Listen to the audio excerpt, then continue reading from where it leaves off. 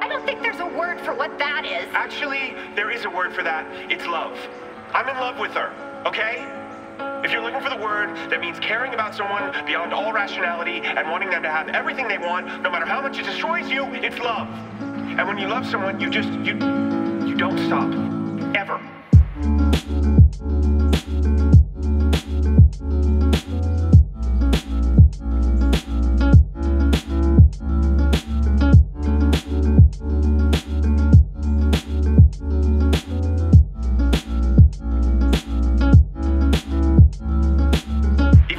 Their eyes or call you crazy, even then, especially then, you just you don't give up because if I could give up, if I could just you know take the whole world's advice and and move on and find someone else, that wouldn't be love. That would be that would be some other disposable thing that is not worth fighting for.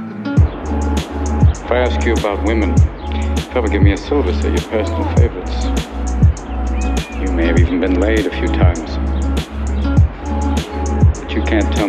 Feels like to wake up next to a woman and feel truly happy. Love suffers long and is kind. It is not proud. Love bears all things, believes all things, hopes all things, and endures all things. Love never fails.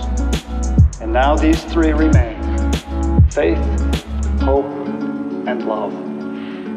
But the greatest of these is love.